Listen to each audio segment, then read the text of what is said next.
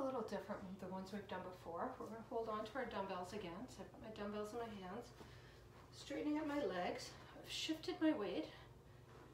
And then I'm gonna bend my elbows. I've got a little bit of a slippy mat. I'm gonna sneak my feet up closer.